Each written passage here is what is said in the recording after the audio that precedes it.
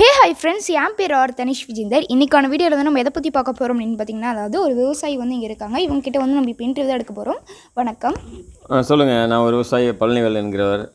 சரி இப்போ வந்து நீங்கள் விவசாயத்தில் வந்து நீங்கள் என்ன பண்ணிட்டு இருக்கீங்க இப்போ? நான் விவசாயத்தில் எடுத்துக்கிட்டால் வாழை நெல் கரும்பு குச்சி இந்த மாதிரி பண்ணிக்கிட்டு இருக்கிறேங்க. இப்போ நீங்கள் வந்து ஒரு விவசாயியாக இருக்கிறதுல வந்து நீங்கள் எவ்வளோ பெருமையாக இருக்கீங்க?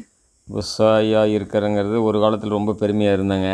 இன்றைக்கி வந்து எடுத்துக்கிட்டால் விவசாயம் நலிவடைஞ்சிக்கிட்டு வருது. மத்திய கவர்மெண்ட்டும் சரி மாநில கவர்மெண்ட்டும் சரி விவசாயத்தை ஊக்குவிக்கிறதுக்காக ஒரு சில சலுகைகள் எதையுமே அறிவிக்கிறது இல்லை எல்லாமே உரவிலையெல்லாம் ஏறி போச்சு. மற்ற மெட்டீரியல் எல்லாமே விலை ஏறி போச்சு. விவசாய உற்பத்தி பொருள் வந்து விலை குறைஞ்சிக்கிட்டு போகுது. இது வந்து அரசாங்கம் வந்து இது தகுந்த நடவடிக்கை எடுத்து விவசாயத்தை ஊக்குவித்து வளர்ச்சி அடை செய்யும் செய்யணும். எந்த மத்திய அரசும் சரி மாநில அரசும் சரி இதற்கு முயற்சி எடுத்து எதுவுமே சரியான நடவடிக்கை எடுக்கலை. இப்போ வந்து நீங்கள் விவசாயியாக இருக்கனால வந்து உங்களுக்கு பெருமையாக இருக்குது அப்படின்னு நான் இப்போ கேட்டேன். இப்போ நீங்கள் விவசாயியை மட்டும் இருந்து இருப்பீங்க. அதுக்கப்புறம் இப்போ விவசாயியில் வந்து வருமானம் வரல அப்படின்னா நீங்கள் வேறு எந்த தொழில் வந்து பண்ணுவீங்க? விவசாயம் வந்து இப்போ நம்ம வேறு வந்து ஆரம்பத்துலேருந்து விவசாயங்கிறது நம்ம வந்து குலத்தொழில் ஆகி போச்சுங்க. அதனால் நம்ம விவசாயத்தை தான் முதலிடமாக பண்ணி நம்ம பண்ணிக்கிட்டு இருக்கிறோம். இனிமேல் இடைக்காலத்தில் வந்து வேறு தொழிலுக்கு போகிறதுனா மற்ற தொழிலினுடைய ஒரு அனுபவங்கள் ஃபஸ்ட்டு தேவை. அதனால் நம்ம ஒரு வேறு தொழிலில் கால் ஊன்றதுன்னா கொஞ்ச நாள் அதை பற்றி டிஸ்கஸ் பண்ணி எப்படி ஃபீல்டில் இருக்குது மார்க்கெட்டிங் எப்படி என்னென்னு தெரிஞ்சு தான் அடுத்த தொழிலுக்கு நம்ம போக முடியும். ஆனால் விவசாயம் வந்து இப்போ நலிவடைஞ்சிக்கிட்டு இருக்குது இப்போ பார்த்தீங்கன்னா வந்து இப்போ நம்ம பாரம்பரியமாக வந்து நிறைய பயிர்கள் வந்து பண்ணுவோம். இப்போ வந்து நம்ம கடலை நெக்ஸ்ட்டு இந்த குச்சிக்கிழங்கு கரும்பு இதெல்லாம் வந்து நம்ம இப்போ போட்டுட்டு இருந்தோம்.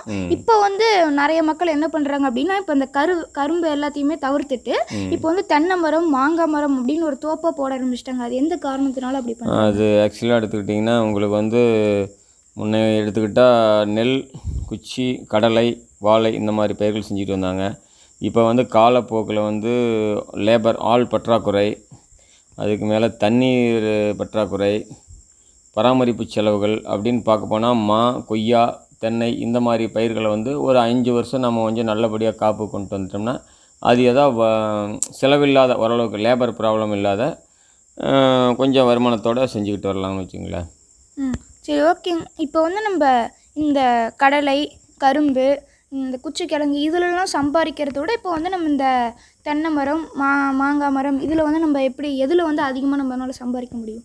இல்லை ஆக்சுவலாக எடுத்திங்கன்னா உங்களுக்கு வெறும் விவசாயம்னா கரும்பு கடலை நெல் இந்த மாதிரி இருக்கிறது தான் வருமானம் வந்து இயர்லி நமக்கு வந்துக்கிட்டு இருக்கு ரெகுலராக இப்போ கடலை எடுத்துக்கிட்டால் ஒரு த்ரீ மந்த்தில் நெல்லுனா ஒரு நாலு மாதத்தில் இந்த மாதிரி வந்துக்கிட்டு இருக்கேன் பட்டு லேபர் ப்ராப்ளத்துக்காக நம்ம என்ன பண்ணுறோம்னா மாற்று விவசாயத்துக்கு போய் கொய்யா மா தென்னை இந்த மாதிரி இதை வந்து ஒரு அஞ்சு வருஷத்துக்கு நம்ம நல்லா வளர்ச்சி அடைந்து கொண்டு வந்தோம்னா பட் இயர்லி ஒரு நல்ல growth கொண்டு வந்துட்டோம்னா நல்ல வருமானம் ரெகுலராக இருக்கும் அப்படிங்கிறதுக்காக மக்கள் அதை நோக்கி போயிட்டு இருக்காங்க விவசாயிகள். நீங்கள் வந்து உங்களோட வயலில் வந்து நீங்கள் எந்த மாதிரி? நாங்கள் என் வயலில் வந்துங்க நான் ஒரு ஆரம்ப காலத்தில் ஒரு பத்து ஏக்கர் விவசாயம் பண்ணேன்.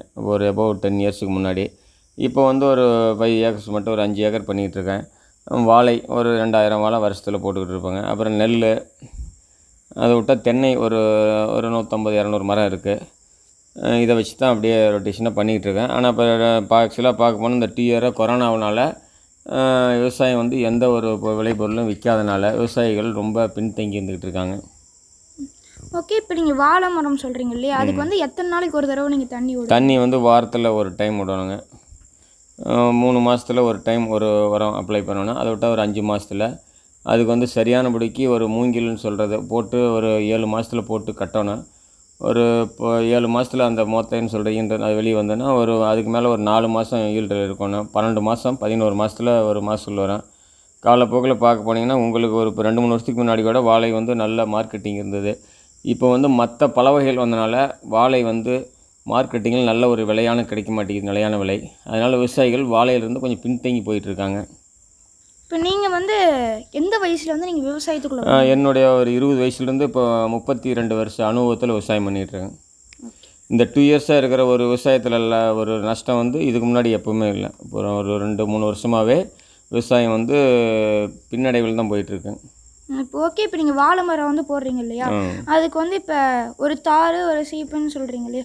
அது வந்து நீங்கள் எந்த இடத்துல போய் விற்பீங்க அதை நீங்கள் எடுத்துகிட்டு பட் ஆக்சுவலாக எடுத்துக்கிட்டிங்கன்னா நம்ம வந்து மார்க்கெட்டிங் வந்து மொத்தமாக வந்து டோட்டலாக தார் எவ்வளோன்னு ரேஷன் பேசிக்குவாங்க. அதை விட்டால் விற்பனை மையம்ட்டு ஒரு ஏஜென்ட் மாதிரி இருக்காங்க. அவங்க வெட்டிட்டு போயிட்டு நூற்றுக்கு பத்து ரூபாய்ன்ட்டு கமிஷன் எடுத்துக்கிட்டு மீதி நமக்கு அப்போதைக்கு என்ன விலையோ அந்த மார்க்கெட்டிங் விலையை விற்று நமக்கு பணம் வந்து கொடுப்பாங்க. முன்னையெல்லாம் எடுத்துக்கிட்டிங்கன்னா நல்ல ரேட்டுக்கு நல்ல விளைபொருள் விற்றுது வாழையெல்லாம். இப்போ ஆக்சுவலாக ஒரு நாலு வருஷமாகவே மற்ற பல வகைகள் காய்கறிகள் வந்தனால வாழையினோட வந்து பின்தங்கி போயிட்டுருக்கு. சரி இப்போ வந்து நீங்கள் இன்னும் என்னென்ன பயிர்கள் வந்து நீங்கள் விளைய வைக்கணும்னு நினைக்கிறீங்க? நான் இனிமேல் காலப்போக்கில் பார்த்தா இந்த சிறுதானியங்கள் இந்த மாதிரி உணவுக்கு வந்து நல்ல பழைய பாரம்பரிய முறையில் அந்த மாதிரி இதை ஊக்குவிச்சு நம்ம விற்றோம்னா இயற்கை முறையில் விளை வச்சோம்னா கொஞ்சம் நல்ல மார்க்கெட்டிங் இருக்கேன். அதனால் ஆர்வமாக அதை செய்யலாம் அப்படிங்கிற மாதிரி ஒரு யோசனைகள் இருக்குங்க. இப்போ வந்து உங்ககிட்ட வந்து யாராச்சும் கேட்குறாங்க அதாவது இப்போ நான் வந்து ஃபுல்லாக தென்னை மரம் தோப்பாக போடுறதா? இல்லாட்டி வந்து இந்த கடலை இந்த கரும்பு இது மாதிரி போடுறதா? என்ன போடுறதுன்னு கேட்டால் நீங்கள் வந்து உங்களுக்கு என்ன நான் எங்கிட்ட வந்து கேட்டாங்கன்னா இப்போதைக்கு தண்ணீர் வசதி இருந்தால் தென்னை வந்து நல்லா பயிரிடலாம். தண்ணீர் வசதி வந்து பத்தாத இடத்துல வந்து ஒரு ஆறு மாத பயிர் மூணு மாத பயிர் இந்த மாதிரி தான் பயிரிடணும். அப்படி பார்த்தீங்கன்னா நெல் கடலை சோளம் மக்காச்சோளம் வாழைங்கிறது ஒரு நெடுநாள் பயிர் ஒரு வருஷம் பன்னெண்டு மாதம் பதிமூணு மாதம் இந்த மாதிரி வச்சுருக்கணுங்க அதுக்கு வந்து சரியானபடி காலாவதி டைமுக்கு மழை வந்து அந்த டைமுக்கு கை கொடுக்கலினால் தண்ணீர் பற்றாக்குறையாக இருந்தால் இயற்கை இந்த மாதிரி சூழலால் வாழை வந்து செய்கிறப்போ நல்ல இயற்கை நம்ம கை கொடுக்கணும். இயற்கை வந்து அந்த ட சரியான காலத்தில் மழை பெய்யாமல் இந்த மாதிரி போகிறப்ப வாழை விவசாயம் வந்து மகசூல் நஷ்டத்தில் போகிறதுக்கு வாய்ப்பு இருக்குங்க. சரி ஓகே. இப்போ பொதுவாக விவசாயி அப்படின்னாலே அவங்க வந்து விவசாயத்துலேயும் இருப்பாங்க. அடுத்தது இப்போ ஆடு மாடு அது மாதிரி வந்து ஒரு சேர்த்து இன்னொரு தொழில் மாதிரியே வந்து அதுலேயும் இருப்பாங்க. இப்போ நீங்கள் வந்து ஆடு மாடு அது மாதிரி வந்து நீங்கள் இதில் என்ன பண்ணுறீங்க இந்த ஆக்சுவலாகவே எடுத்துக்கிட்டிங்கன்னா ஒரு விவசாயினா அவங்க வீட்டில் ஒரு நாலு மாடு ரெண்டு ஆடு கோழி இந்த மாதிரி வந்து உபரி வருமானத்துக்கு இந்த மாதிரி கால்நடைகள் வளர்ப்புங்கிறது ஒரு ஊக்குவித்து ஆரம்ப காலத்துலேருந்து வச்சுக்கிட்டு இருக்காங்க. இது வந்து எடுத்துக்கிட்டிங்கன்னா இப்போ வந்து கவர்மெண்ட்டில் பாலுக்கு வந்து விலை வந்து தனியார் கொடுக்குறத விட அரசாங்கம் வந்து பால் உரிய விலை கொடுக்கறதில்ல. முன்னெல்லாம் எடுத்துக்கிட்டிங்கன்னா கால்நடை தீவனத்துக்குன்னு சொல்லி ஒரு பத்து பர்சன்ட் மானியம் மாதிரி கொடுத்துக்கிட்டு இருந்தாங்க ஆவின் இல்லைங்க. இப்போ அதெல்லாம் நிறுத்தி விட்டாங்க.